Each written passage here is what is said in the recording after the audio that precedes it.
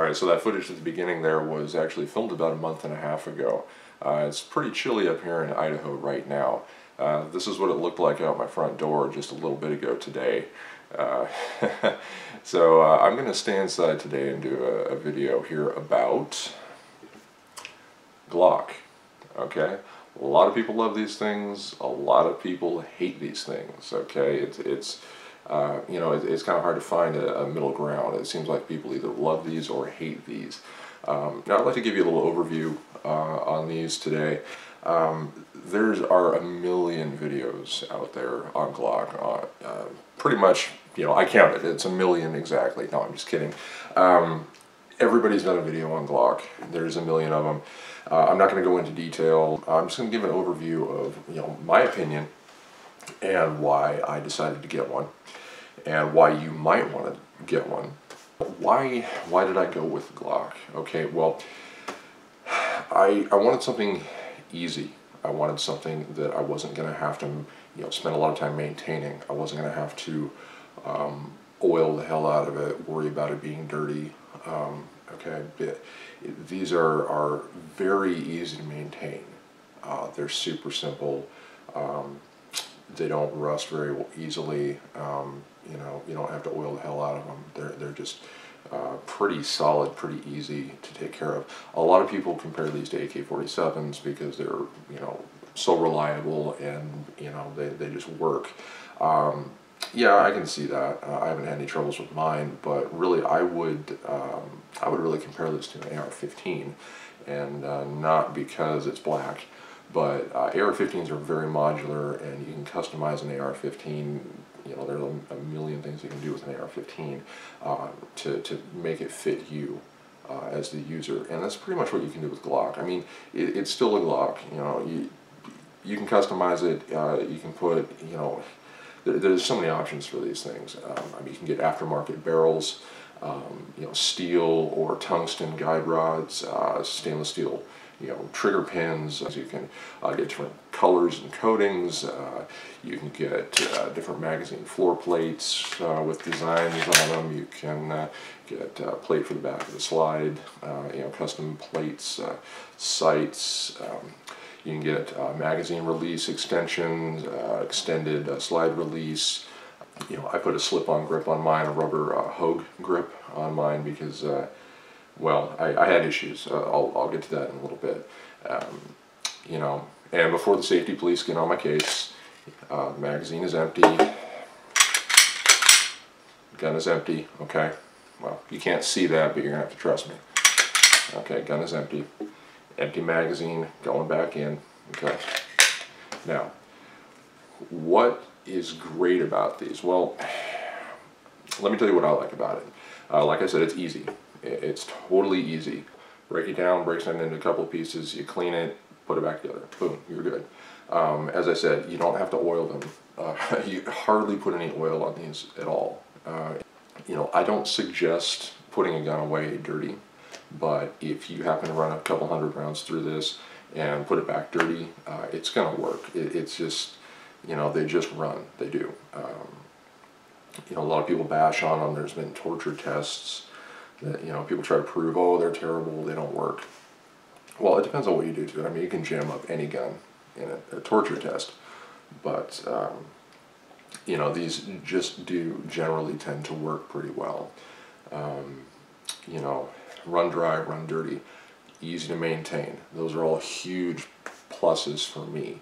So I did a lot of research online at first, and it fit the bill. It fit the bill for what I was looking for, and then I went and tried one out. I actually tried the 23 first, which is the compact model. This is a 22, or a G22, and it's chambered in 40 caliber, 40 Smith & Wesson. Um, I tried the, the 23, the compact version out first, and when I went to buy it, uh, well, I decided I liked it, and when I went to buy, you know, uh, buy my gun, I actually decided to go with the full size, uh, the full size version because I wasn't planning on, you know, carrying concealed um, and you know it wasn't really a big issue. They were the same price. So I decided to just you know go the full size version, a little bit longer barrel, a little bit heavier. Uh, 40 Smith & Wesson does snap a little bit, has a little bit of snappy recoil, so the longer uh, barrel and a little bit heavier slide, you know, mitigates that recoil, you know, a little bit, I guess. um, so really, you know, that's it. Uh, a lot of people hate the, the grip angle. I don't have an issue with it. Um, I think it's fine. Um, you know, so those are all the positives. Those are things that I really, you know, was looking for uh, in a pistol. Nice and simple. Okay, reliable, has a good reputation. Now, let's talk about things that I don't like. Um, now, as I said, the grip angle is fine. I, I don't have a problem with the grip angle. Okay, it's it, you know it's fine for me. Uh, a lot of people do complain about that, but um, being a, a, polymer lower, the polymer or the grip rather is just polymer. It's molded polymer, and I really did not like the uh, the texture on it.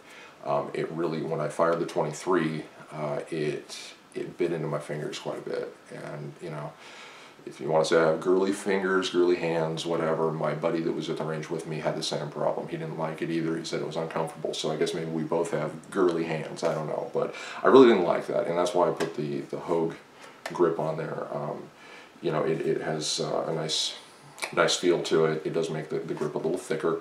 Um, it has palm swells, which I like. Um, and a nice texture on the, the outer edges, or the outside rather. But some people already complain that the grip is too big or they don't like the shape of the grip. I haven't had an issue with that. I don't have very large hands. Um, I really just, uh, I didn't like the original texture, so I put the, the, the slip-on grip on there. Um, another thing, I mean, if you're not used to striker fire triggers to begin with, it's going to feel weird to you. So if you're transitioning from a revolver or maybe a 1911, um, a striker fire trigger might feel weird to you. Um, these in particular, they're made of polymer. They're very snappy, kind of clicky. Um, you know, not every striker fire trigger is the same, but Glock in particular has a, certain feel to it, and it just really, um, you know, it's different. it's kind of snappy. It takes a little bit of getting used to. Now, another big issue that people have, and I would have to agree, um, is the price. Um, really, Glock, with a Glock, you're paying for the name, because uh, there are other handguns of the same quality or even maybe slightly better quality for less money. Um, you're looking, for something like this, you're looking at probably at least 500 bucks, um, which, you know, for a polymer framed pistol, you know, 500 plus dollars for a base model uh, is pretty pricey. Um, you are paying for the name, and they are good guns, but uh, they are pricey. And magazines, it's very common uh, to see magazines for 25 on up to 35 40 dollars. I mean that's you're paying for the name. Uh, there's nothing special about them. Uh, they're just they're Glock magazines. They're polymer with steel uh, steel inside. And yeah 25 35 dollars. I've even seen 40 dollars for for a magazine which is crazy. But basically in general Glock is you know they're good to go. They're solid. They're pricey, uh, and they may not fit your hand. Now that, that brings, brings me around to the last point I want to make. Is Glock the best handgun? Do they make the best handgun? Of course not. Everybody's different. Everybody uh, is going to handle a gun differently. Everybody has different needs for their gun, uh, different you know needs for it to fill. You know, home defense, target shooting, hunting, whatever. Do some research first. See what fits your criteria, and uh, you know, go out and try a few that you think will will work for you. The best thing that you can do is try out you know any gun that you're going to use, especially for home defense. Uh, you want to know what you're getting into. So um, they're not the they're not the best. Okay, you know Glock Perfection. You know I wear the hat. Okay, uh, I got this for free when I got when I bought my Glock. Okay, I got a little range bag and I got the hat for free. It was a promotional thing. That's why I wear it. It was free. I didn't go out and buy it. I'm not promoting them. Uh, it was a free hat. you know, so. Um, you know, that being said, no, they're not the best. People will, you know, argue that to the end. They're the best, they're the best, they're the best. That's it. But um, I want to know what your opinion is. You know, do you love them? Do you hate them? Uh, why? Why do you love them? Why do you hate them? You know, leave me some comments. You know, let's talk about it. Uh, there's a ton of new shooters every day getting into guns, and I know that you know this seems like maybe an old topic. Uh, you know, but uh, you know everybody's getting into getting into guns every day, or hopefully a lot of new shooters are.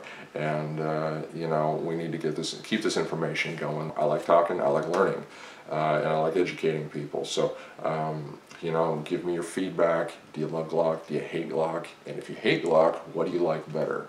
As always, uh, thanks to the subscribers. Uh, I really appreciate the support. You guys are awesome. And, uh, you know, I'm going to have more videos coming at you soon. So uh, thanks for stopping by, and I'll see you next time.